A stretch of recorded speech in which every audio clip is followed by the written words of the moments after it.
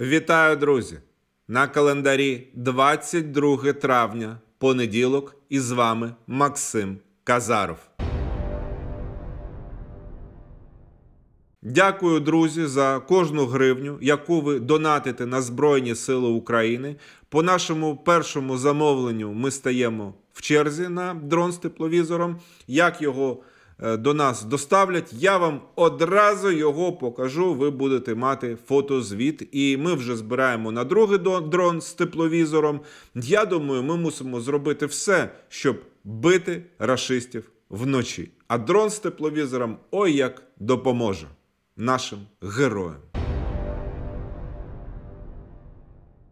Шановні підписники, мої глядачі, ви в коментарях часто пишете Максим, чому ти не розказуєш про міжнародну ситуацію, про успіхи України на міжнародній арені.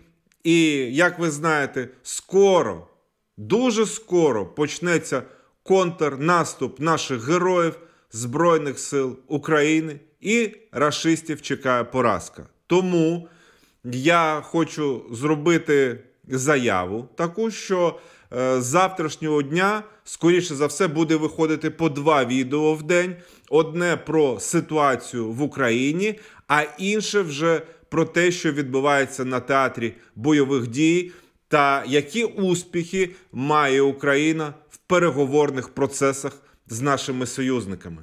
Новина просто яка шокувала рашистських пропагандистів. Скайбеєва та Симоньян кривляться, вони панікують, вони ненавидять Україну. Але до нас прямують американські винищувачі F-16, які я впевнений, ви впевнені, військові експерти впевнені, переломлять ситуацію в Україні, і рашистські окупанти більше не будуть знати жодної перемоги, жодного захопленого міста, тому що F-16 це не просто винищувач, він працює в комплексі з артилерією, зі всіма системами наведення вогню, з розвідкою супутниковою, яку надають нам американці. Ви тільки послухайте те лайно на рашистських федеральних каналах, яке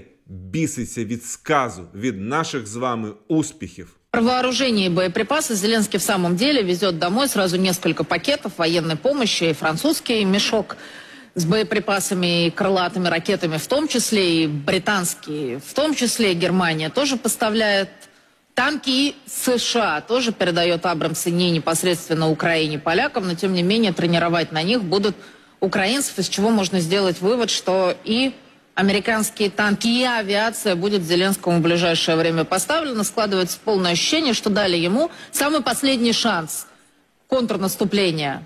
Отложили, пообещали новое оружие, поднакачают и потом говорят вперед. Никакого мира не будет. Все, что сейчас происходит, это очень-очень долго. Это касается всех наших граждан, которые иной раз питают иллюзии, что сейчас быстренько и рассосется. Нет, не рассосется. Запад окончательно сошел с ума, мы сами это хорошо понимаем. Все наши попытки с ним подружиться, играть на полушишечки, они ни к чему хорошему не приведут. А французы и британцы уже заявляют, что будут учить украинских летчиков. И при этом, обратите внимание, как интересно, они говорят, что они, не-не-не, самолеты мы не обсуждаем. Ну, хватит дурака включать.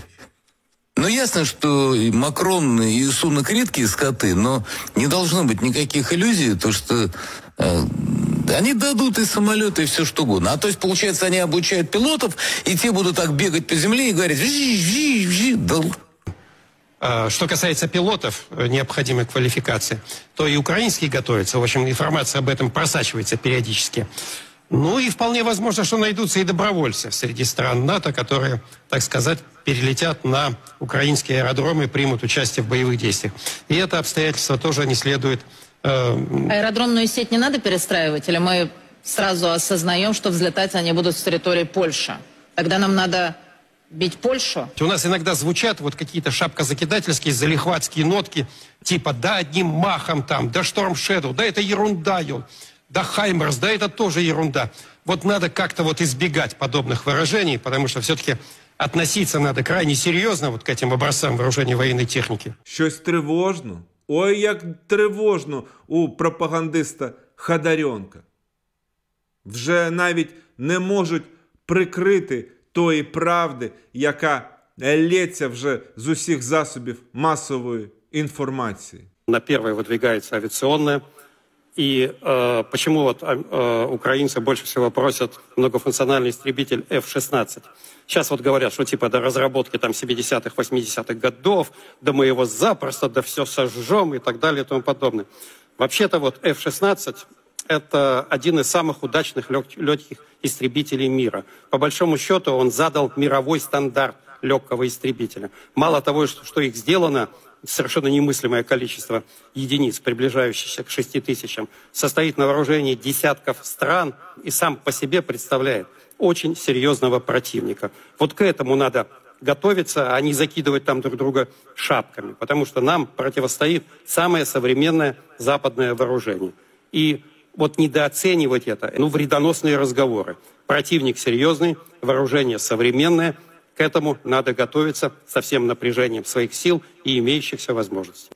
І що ж ви такі сумні? Ну а як же Київ за три дні? Як же української армії нема? Що ми е, в перші години захопили все? Жодного ППО, жодного літака, жодного аеродрому не лишилось. І все. І все.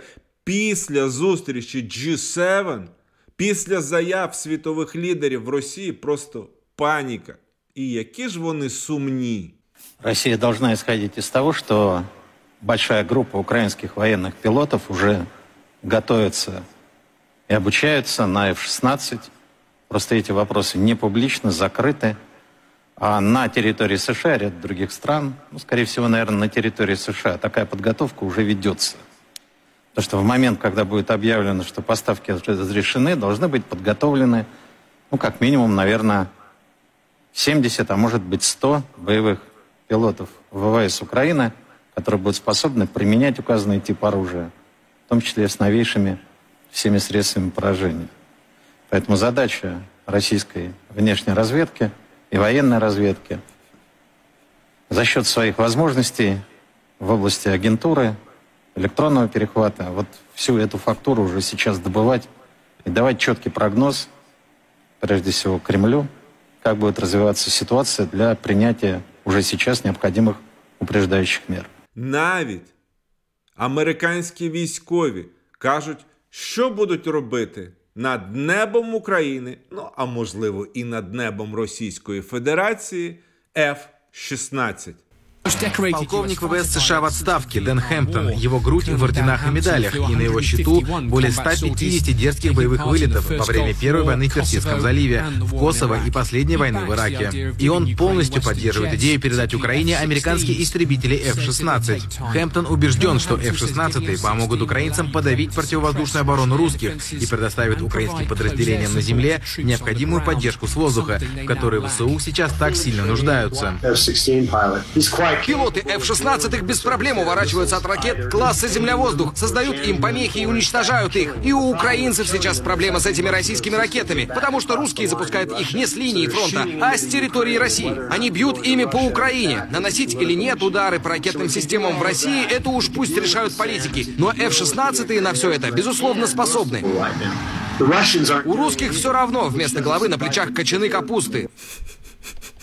Як ви бачите, скоріш за все, програми навчання українських пілотів вже почалися.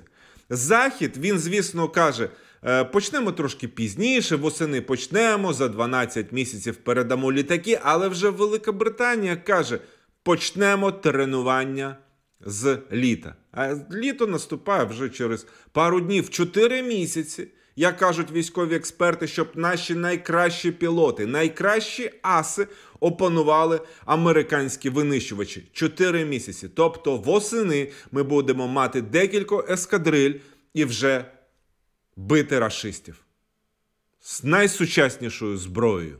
Винищувачі F-16 можуть почати патрулювати українське небо вже цієї осені. е, восени. Кажуть у Міністерстві оборони України. Вже цієї восени найбільший військово-повітряний блокбастер усіх часів F-16 в небі України. Ми захистимо наше небо, пише прес-служба Міністерства оборони України. Як кажуть, в повітряних силах спочатку Україні можуть передати кілька десятків літаків F-16. Західні партнери подивляться, як ми з ними вправляємось, як знищуємо ворога, і будуть надавати ще і ще, бо вже в звітах натівських розвідок є інформація в аналітиці, що українці опановують натівську зброю в десятки разів швидше, аніж ті, кого вони до того вчили. Спочатку Україні можуть передати кілька десятків літаків F-16 повітряні сили. Історичне рішення про передачу F-16 стане поштовхом на шляху до нашої перемоги. Сподіваюся, це станеться якнайшвидше, заявив речник повітряних сил Юрій Ігнат в ефірі телемарафону. Щодо кількості, безумовно, ніхто не буде передавати поштучно ці літаки. Ці літаки будуть передаватися підрозділами. Авіаційні підрозділи це щонайменше ескадрилья. В нашому варіанті це 12 плюс літаків. У західних партнерів ескадрилья має більше до 18 літаків. Таким чином, кілька десятків літаків може бути передано Україні спочатку для вирішення поточних завдань. Навіть Байден після того, як отримав запевнення від України, що не будуть бити по території Росії, що не будуть літати на територію Росії, сказав: даю добро на використання F-16. Байден отримав тверде запевнення, що Україна не використовуватиме F-16 на території Росії. Президент Джо Байден заявив, що отримав від Володимира Зеленського тверде запевнення, що українські війська не використовуватимуть надані заходом винищувачі F-16 для вторгнення на російську територію. Про це він заявив. На завершенні саміту G7 у Хіросімі повідомляє Європейська Правда. Байден також заявив, що військові літаки F-16 можуть, однак, бути де б не перебували російські війська на території України. Ну а там використовують над територією Росії, не використовують, вже буде ні для кого не важливо. Тому що, в принципі, йде дипломатична гра, дипломатичні ходи. А це означає, що ми йдемо і вперед за певними правилами етикету дипломатичного мого, а далі. А далі б'ємо рашистів всюди, де тільки можна. Так було вже з багатьма натівськими озброєннями та країн, які не входять до блоку НАТО, але допомагають Україні. І це, друзі, прекрасна новина. Також поступила інформація, що наші захисники знищили найсучасніший російський літак Су-35. Він вартує мільярд російських рублів. Захисники українські знищили російський літак Су-35. Плетенчук. Видовище зі збитим аналоговнєтом Су-35 було неймовірне. Збили наші ППОшники пізно ввечері літак 21 травня над Червоним морем. І він мав намір цей літак запускати бомби в бік Херсонщини. Але відправився на корм рибам.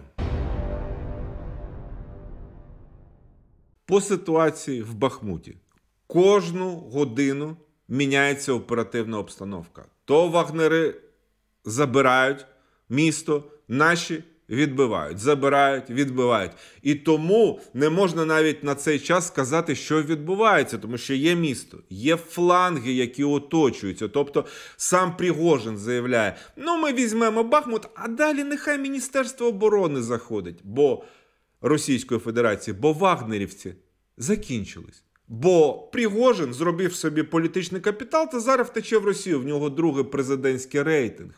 І піар на Бахмуті він зробив, але в Бахмуті не залишилось жодної цілої будівлі. Заява Пригожина про взяття Бахмута Інститут вивчення війни оцінив ситуацію. Захоплення Бахмута не дає російським військам оперативно значущої території для продовження наступальних операцій. Навіть якщо заява ватажка ПВК Вагнер Євгена Пригожина про захоплення Бахмута є правдою, взяття міста не має для них стратегічного значення, адже не дозволить виснаженим силам РФ створити плацдарм для подальших наступальних операцій. Перемога Пригожина, якщо вона є, вона суто символічна. А українські військові повідомляють, що Бахмут вже на даний момент взяли в напівоточення. Тобто здали місто, як кажуть пропагандисти рашистські, це брехня, це російське ПСО. Відступили, заманили в пастку, з флангів все відрізали і захопили в кільце рашистів. Взяли місто у напівоточення. Міноборони повідомило про успіхи Збройних сил України у Бахмуті. За словами Маляр, ворог не зміг оточити Бахмут і втратив частину панівних висот довкола міста. Тим часом наші воїни і далі просуваються у передмісці по флангах, що ускладнює ворогу перебування в Бахмуті. Наші війська взяли місто у напівоточення, що дає нам можливість знищувати ворога. Тому ворогу у тій частині міста, яку він контролює, доводиться оборонятись. На підтвердження моїх слів, третя окрема штурмова бригада під Бахмутом знов просунулась вперед з заявою, що окупанти на дорозі е, наших військових розбиті в мотлох. Третя окрема штурмова бригада просунулася під Бахмутом ще на 700 метрів. Окупанти розбиті у мотлох. Новина 21 травня е, в 16 28. Третя штурмова бригада продовжує вибивати окупантів із позицій під Бахмутом 1730 метрів у довжину та вглиб ще 700 метрів зачищеної від ворога території. При спробі повернути відбиті раніше українськими бійцями позиції підрозділи 72-ї бригади ЗСРФ зазнали поразки, розбиті у мотлох. Лише за вчорашні бої було знищено 23 окупанти, а понад 40 стали трьохсотими. Ліквідовано й ворожу техніку, зокрема танки.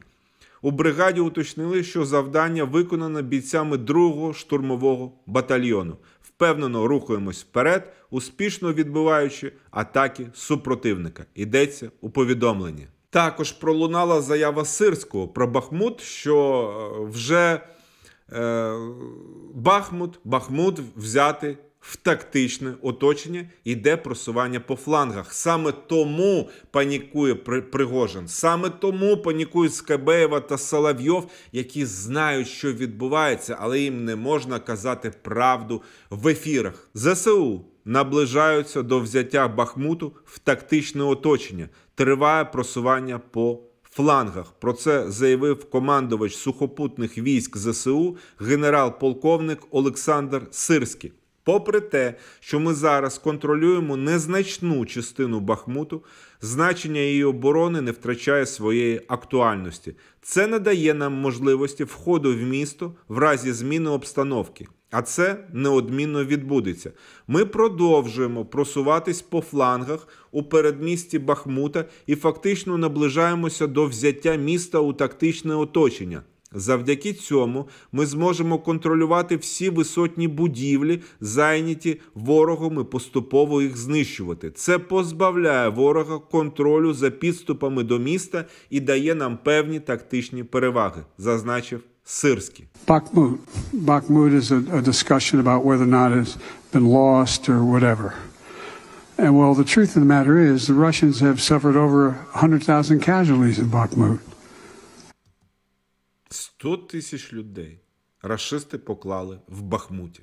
100 тисяч рашистських солдат було знищено при штурмі Бахмуту. 100 тисяч це навіть більше, ніж населення Бахмуту до війни, до нападу рашистів.